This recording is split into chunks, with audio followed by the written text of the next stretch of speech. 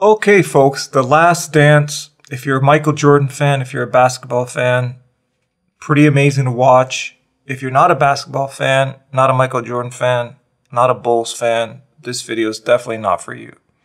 Uh, I definitely grew up around that era. And uh, my first impression of Michael Jordan as a player wasn't actually his competitiveness, you know, because people always talk about his competitiveness.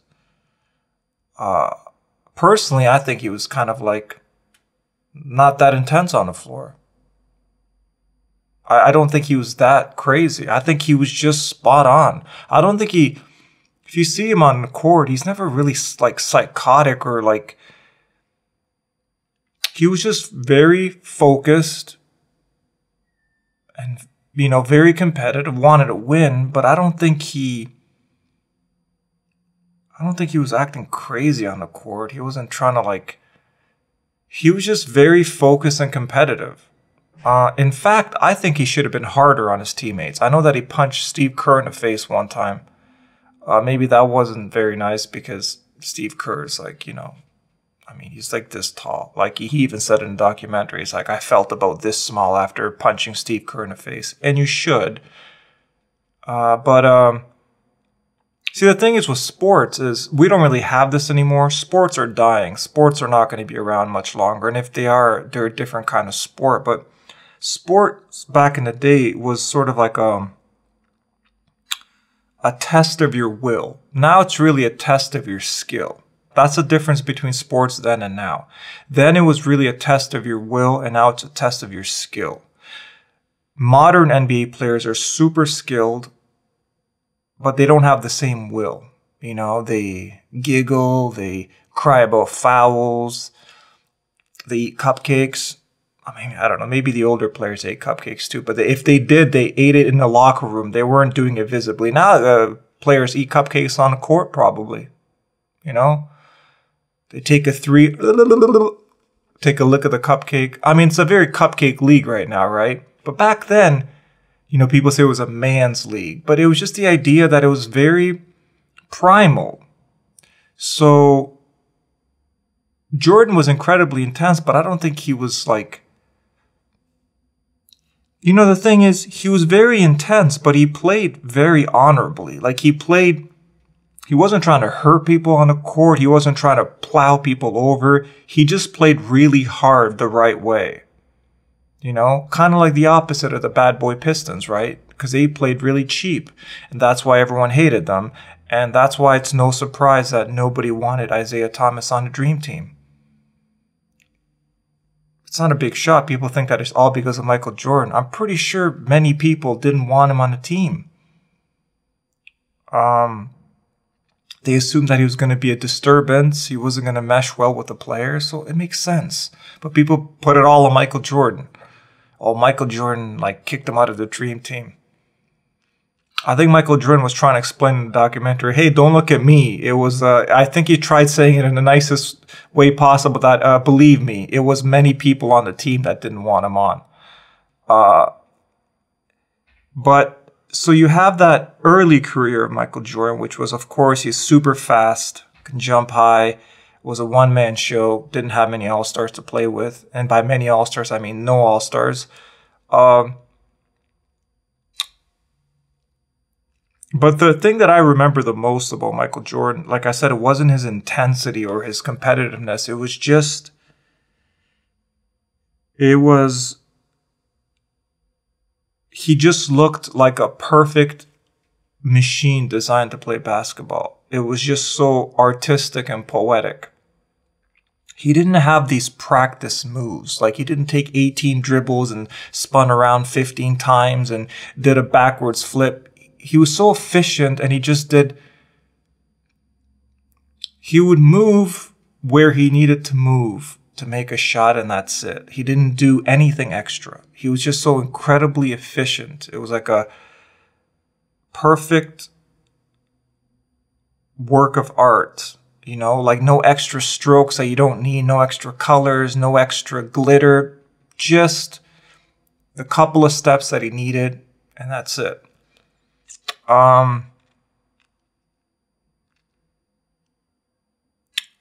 and that really is kind of the uh, one of the major differences between him and Kobe Bryant because they get compared a lot. Right? Kobe Bryant was a lot flashier. He took a lot more dribbles. He took a lot of crazy shots. I don't think there's been anybody in the league who takes crazy shots as well as Kobe Bryant. Now people will say, well, that's not true because his shooting percentage was not that great. He never shot over 50%. Still, the crazy shots he takes, I mean, they're insane. Of course, he's not as efficient, but he, but he, he's incredibly skilled. But um, see, the one thing that's also crazy is that like people compare Michael Jordan to Kobe Bryant a lot, but it's uh, what's crazy is that like Kobe Bryant had the time to practice Michael Jordan's moves before Michael Jordan even came up with the moves, right? Because the first part of Michael Jordan's career, he hadn't really developed that amazing fadeaway that he uses, right? That unstoppable shot. So that killer fadeaway that Michael Jordan's really famous for, he only really mastered it and developed it later on in his career in the second half. But Kobe Bryant had the time to practice that from the time he was a teenager. He was able to perfect that fadeaway. So he had so many more years of practice ahead of him. So it's kind of it's kind of a weird way to compare them because it's like he had his entire life to practice Michael Jordan's moves. So that's why even Michael Jordan jokes about that if they ever played one on one, he doesn't think there's anybody who could beat him, but maybe Kobe might have a chance, you know, because he stole all his moves. But it's more than just he stole all his moves. He had time to practice them for more years than Michael Jordan did, which is something that I very rarely hear talked about. Not only did he steal his moves, anyone could steal someone's moves, but he had his entire life to practice them. And Michael Jordan only really got good at those moves in the second part of his career. So it's it's a weird, but either way, either way, uh, I guarantee you those would be fun games to play. to see those one on ones if you could see them. I don't know what their primes are though, right? I don't know. Uh, their, their primes are kind of a little bit debatable. Uh, you know,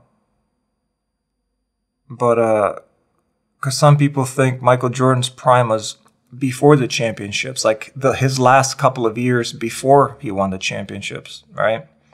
And some people think that Jordan's prime is like the first year that they won the champion, or like the first two years. I think by the third year he was pretty like exhausted and like a little bit tired. But that first, definitely that first year and that second year, he was But getting off of the Kobe Bryant Michael Jordan debate, uh,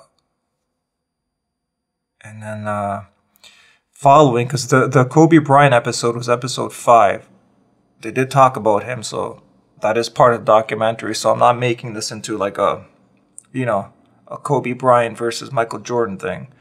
Because, but I will say to end it that Kobe Bryant is the only player I've seen that's as focused as Michael Jordan was. And I think that's what but Kobe Bryant was the same way. They didn't play they didn't play um they didn't play cheap. They didn't play cheap. They played hard competitiveness, but they weren't personally, I think both of them should have been even harder because people they're they're accused of going too hard on their teammates.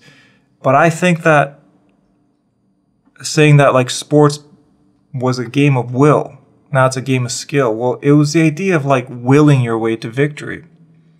Doing whatever it takes, playing as hard as it can, even if you die on the floor. That's the kind of mentality people used to have. Now it's really not that way at all. Which I said, like, that's the essence of sports that will to win. Now it's really just a game of skill.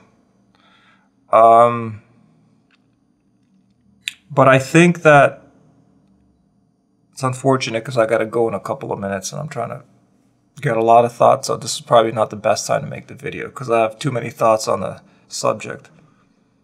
Um, okay, so his earlier career, Michael Jordan, super fast, can win championships. He had no all star players with him. Then Scottie Pippen started to develop. And then they won all their championships. Everyone knows about those. His baseball career. Uh, it's weird. The two things that Michael Jordan gets a lot of crap for his baseball career and his days with the Wizards. And I think that without any context, it's kind of hard to really talk about him.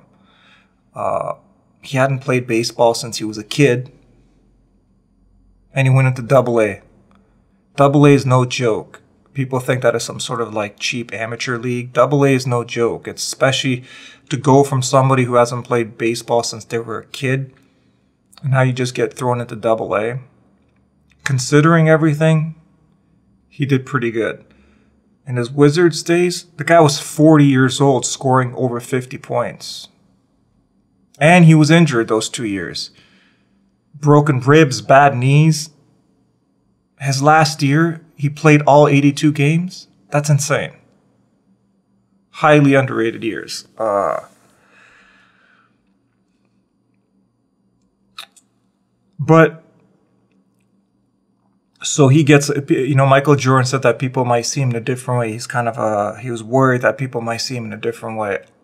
I don't think that's true. It just depends on on the person really because the way I see it is that when you when you're that focused and that driven and that competitive and then if you have teammates that are just kind of giggling around eating cupcakes, it would drive you crazy.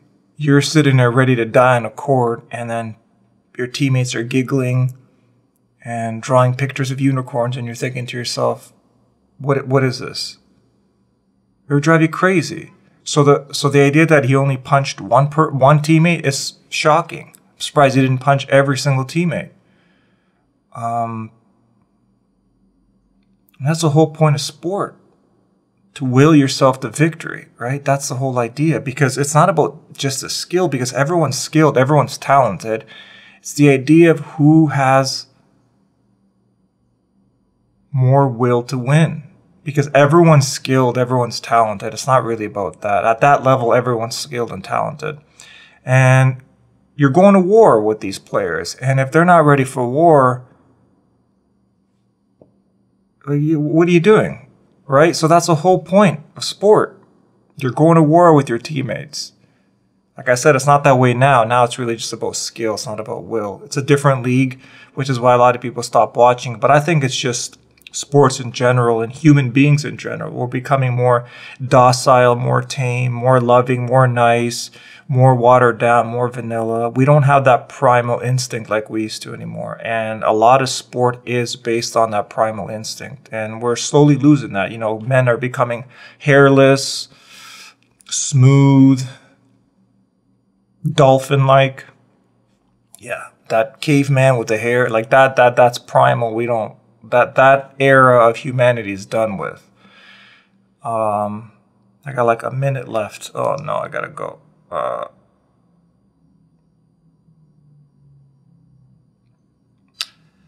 so, maybe I can say a couple of extra minutes, but uh, it's an amazing documentary. Michael Jordan was by far my favorite player. If I were to create a dream team, you know what? The, the documentary is awesome. If you're a basketball fan, watch it. I can go to so many things about it. It's just this video would be like an hour long. But Michael Jordan was always my favorite player. And to me, what makes a great player is not their talent. There's so many talented people. It means nothing. It's the will and the focus and the there's just certain players that have that thing and those uh, are always my favorite players. The ones that maintain their focus the ones that are always consistent the ones that you can always depend on that are just always there. And to me,